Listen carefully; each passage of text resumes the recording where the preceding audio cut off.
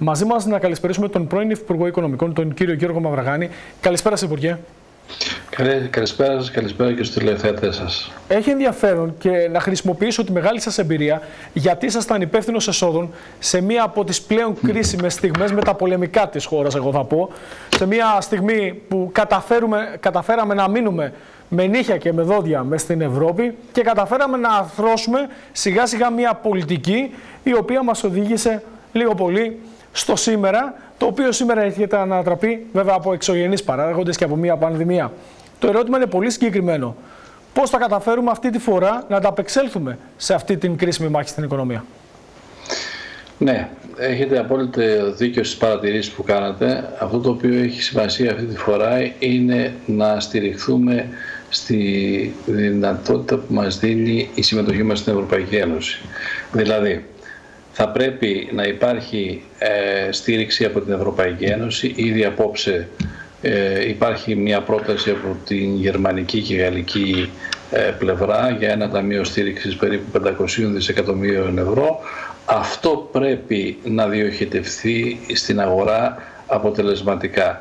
Νομίζω ότι μόνο έτσι μπορεί να αντιμετωπιστεί η, η κρίση, διότι ε, αυτή τη φορά δεν είναι ένα πρόβλημα της χώρας μας, δεν είναι ένα δημοσιονομικό οικονομικό πρόβλημα της χώρας μας, είναι ένα γενικότερο φαινόμενο και συνεπώς θα πρέπει να το αντιμετωπίσει κεντρικά η Ευρωπαϊκή Ένωση και να χορηγήσει στα κράτη-μέλη τα απαραίτητα κονδύλια για να στηρίξουν την οικονομία τους και εκεί νομίζω βρίσκεται το μυστικό και για την ε, αντιμετώπιση. Κατανοητό. Από ό,τι φαίνεται όμως υπάρχει, θέλω να πω έτσι, ένας κίνδυνος να δημιουργηθεί μια κρίση χρέους ξανά. Κοιτάξτε, εξαρτάται από τα εργαλεία τα οποία θα χρησιμοποιηθούν. Εάν ε, έχουμε κάποια ε, δυνατότητα να δανειστούμε χρήματα, κονδύλια από την Ευρωπαϊκή Ένωση, αλλά όχι με τους όρους που είχαμε στα μνημόνια, τότε δεν θα έχουμε τις ίδιες συνέπειες. Σε κάθε περίπτωση αυτό που μετράει πάρα πολύ είναι να γυρίσει η οικονομία στο θετικό πρόσημο όσο να τον πιο γρήγορα και από εκεί θα περιορίσουμε όλες τις αρνητικές συνέπειες. Ε, τα έσοδα όμως καταραίουν, εγώ θα πω από την άλλη. Αυτή τη στιγμή το κράτος δεν έχει έσοδα από επιχειρήσεις που παραμένουν κλειστές, από επιχειρήσεις που κανείς δεν ξέρει πώς θα λειτουργήσουν ξανά. Αυτό είναι ένα πολύ μεγάλο ε, ζήτημα. Και πώς μπορούν αυτές οι επιχειρήσεις να λειτουργήσουν. Ο τουρισμός βρίσκεται σε μια πολύ μεγάλη αβεβαιότητα, που από εκεί περιμένουμε πάρα πολλά έσοδα. Πώς όλα αυτά θα λειτουργήσουν συνδυαστικά, έτσι ώστε να έχουμε την μικρότερη δυνατή, σε εισαγωγικά, ζημιά. Κοιτάξτε, αυτό εξαρτάται από κάποιους παράγοντες οι οποίοι είναι δυστυχώς αυτή τη στιγμή αστάθμητοι. Πολύ σωστά είπατε, τουρισμός. Δεν ξέρουμε εάν θα έχει κάποια έσοδα. Έχουμε ακούσει κάποιες απόψεις για 7 έως 8 δισεκατομμύρια ευρώ φέτος. Αυτό θα εξαρτηθεί αν από τον Ιούλιο αρχίζει να υπάρχει μία ροή τουριστών στην Ελλάδα. Αν δεν υπάρχει βεβαίως το πρόβλημα μεγαλώνει. Ε, νομίζω όμως ότι η κυβέρνηση από εδώ και πέρα πρέπει να μέρα με τη μέρα να υπολογίσει, να παίρνει το πιο άσχημο σενάριο θα έλεγα και να πιέζει για μία βοήθεια για την τόνωση της οικονομίας μέσω των ευρωπαϊκών κονδυλίων. Θα ήθελα να σας πω τι σημαίνει τόνωση οικονομίας. Τόνωση οικονομίας στις τουριστικές επιχειρήσεις. Εάν δούμε ότι είναι μεγάλη η απώλεια, θα πρέπει να ενεργοποιήσουμε πακέτα ε, εσωτερικού τουρισμού, ε, κοινωνικού τουρισμού, όπως λέγεται διευρυμένα, έτσι ώστε να υπάρχει κινητικότητα στην εσωτερική αγορά τουλάχιστον. Θα πρέπει ε, να υπάρχουν πακέτα για δημόσια έργα. Δηλαδή να αναπληρώσουμε το χαμένο έδαφος σε άλλους τομείς και μία παρατήρηση που δεν έχει σχέση με το βραχυπρόθεσμο αλλά ίσως με το μακροπρόθεσμο. Επί κυβέρνησης Αντώνης Σαμαρά είχε εκπονηθεί από τη McKinsey ένα καταπληκτικό πρόγραμμα για την ανάπτυξη της χώρας. Το αναπτυξιακό Εκεί, σχέδιο λοιπόν, το λεγόμενο. Ναι. Ακριβώς. Το λεγόμενο αναπτυξιακό σχέδιο το οποίο εάν είχε εφαρμοστεί δεν θα είχαμε τέτοια εξάρτηση από τον τουρισμό. Και επιτέλους ας το κάνουμε αυτό πράξη γιατί στο μέλλον δεν ξέρουμε πόσες φορές θα υπάρξουν επιδημίες ή άλλοι εξωγενείς παράγοντες. Η χώρα μπορεί να αναπτυχθεί και σε άλλους τομείς, στον πρωτογενή τομέα. Είναι ευκαιρία λοιπόν αυτή τη στιγμή να κάνουμε μια ανασυγκρότηση, εγώ θα πω, και παραγωγική Βεβαίως. ανασυγκρότηση. Πολύ σωστά το επισημαίνετε. Ε, βλέπω όμως μια μελέτη τώρα σήμερα στα νέα, για παράδειγμα, ότι χρειαζόμαστε 2 με 4 χρόνια επαναφοράς στο 2019, να περάσουν 2 με 4 χρόνια. Δεν ξέρω αν είναι απεσιόδοξο αυτές οι εκτιμήσεις ή αυτά που ακούμε για την ύφεση της τάξης από 5 έως 9,7%. Κάπου εκεί πάντως θα κλειδώσει. Αυτή είναι η πραγματικότητα και δύσκολα θα ισορροπήσουμε. Το ζήτημα είναι πώς δεν θα χαθούν και θέσεις εργασίας, πώς δεν θα φτάσουμε σε υψηλά ποσοστά ανεργίας και πώς μια ασθμένουσα ελληνική οικονομία που βγαίνει από ένα δεκαετές τούνελ κρίσης θα καταφέρει να κρατήσει γερά εάν δείτε τις οικονομίες όπως της Γερμανίας, όπως των Πολιτειών, αυτές οι οικονομίες ε, ρίχνουν στην αγορά ένα μεγάλο πακέτο ε, για, να τις, για να τις στηρίξουν οι οικονομίες τους, το πακέτο που κυμαίνεται και στο 20 και στο 25 και στο 30% του ΑΕΠ.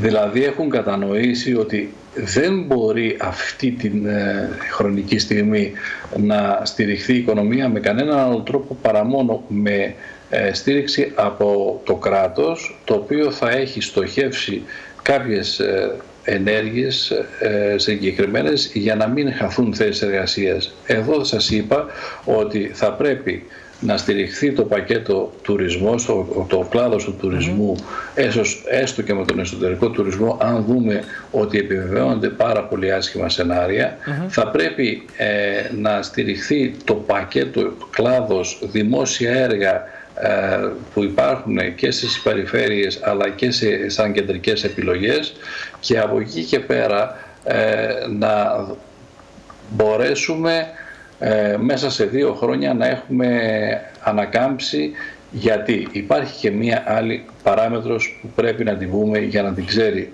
ε, ο οποιοδήποτε στη χώρα μας. Δηλαδή, όταν είχαμε το πρόβλημα του μνημονίου, η ε, διεθνής οικονομία ήταν σε πολύ καλή κατάσταση. Συνεπώς τότε υπήρχαν κεφάλαια. Τώρα παρατηρείται το φαινόμενο να είναι διεθνές με αποτέλεσμα να μην υπάρχουν διαθέσιμα κεφάλαια για επενδύσεις. Δηλαδή στις χώρες από όπου τα κεφάλαια προέρχονται, οι Ηνωμένες Πολιτείες, Γερμανία, Γαλλία, Ηνωμένο Βασίλειο, αυτές οι χώρες δίνουν τρομερά για επενδύσεις στις χώρες μέσα, εσωτερικά.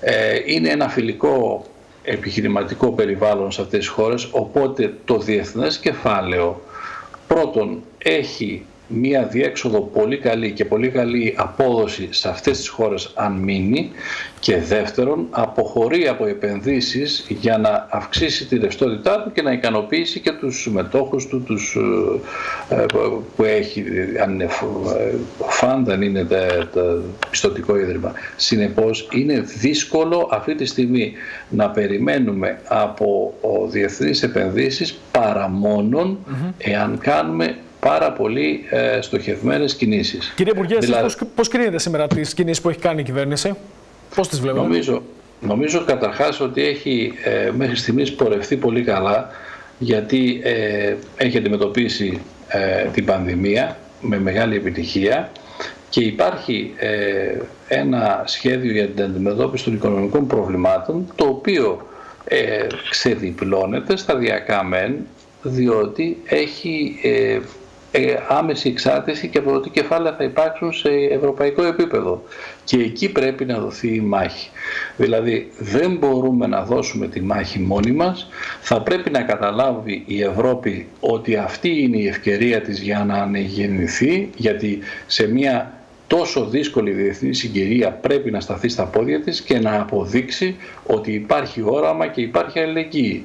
Διότι αν σταθεί κάθε χώρα στο δικό της ε, πλεόνασμα και στη δική της ε, ευμάρεια σήμερα, αύριο θα έχει πρόβλημα. Και για να τα λέμε με το όνομά τους, εάν η Γερμανία σήμερα επιμένει σε μια ε, πάρα πολύ σφιχτή πολιτική, αύριο δεν θα υπάρχουν αγοραστές για τα προϊόντα της. Άρα είναι κοντόθαλμη μια τέτοια ε, προοπτική. Θα πρέπει λοιπόν όπως αρχίζει και βάζει νερό στο κρασί της και βλέπουμε σε ευρωπαϊκό επίπεδο να κινείται αυτή η προσπάθεια για ένα ταμείο επανεκκίνησης της ευρωπαϊκής οικονομίας, νομίζω ότι εκεί θα είναι και η απάντηση και εκεί αυτό περιμένει και η ελληνική κυβέρνηση για να αντιμετωπίσει με πιο δραστικά ακόμα μέτρα την ε, κατάσταση εδώ. Και το ζήτημα είναι να φτάσουν αυτά τα χρήματα και στην πραγματική οικονομία, γιατί και εκεί είναι το θέμα.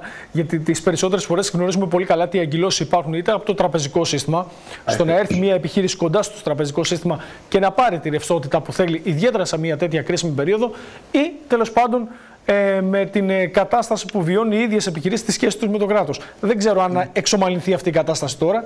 Το ελπίζουμε, φαντάζομαι. Είναι νομίζω μέσα στις δύσκολες στιγμές υπάρχουν και αυτές οι ευκαιρίες όπως λέτε. Ναι, το τραπεζικό σύστημα ε, έχει τα, το, τα προβλήματα που έχουν κληρονομηθεί από την προηγούμενη δια, ε, χρονική περίοδο, όμως είναι μεγάλη ευκαιρία να ε, σταθεί αρρωγός στις βιώσιμες ελληνικές επιχειρήσεις και να μην είναι τόσο επιφυλακτικό. Δηλαδή, είδαμε σε μερικές περιπτώσεις το ελληνικό δημόσιο να είναι λιγότερο γραφειοκρατικό και μπράβο από ό,τι είναι οι τράπεζες. Δεν μπορούμε να καταλήξουμε στο αντίθετο, δηλαδή οι τράπεζες να γίνουν ε, τόσο γραφειοκρατικές και το δημόσιο να, είναι, να έχει προχωρήσει ένα βήμα μπροστά. Πρέπει να το καταλάβουν οι τράπεζες, πρέπει ε, να, οι διοικήσεις τους να αντιμετωπίσουν με περισσότερο ρεαλισμό την κατάσταση στην οικονομία. Να σας ευχαριστήσω πάρα πολύ. Κρατάμε όλες αυτές τις ιδιαίτερα χαρακτηριστικέ αναφορές. Καλή συνέχεια και καλή δύναμη. Καλή σας νύχτα. Ευχαριστώ πολύ.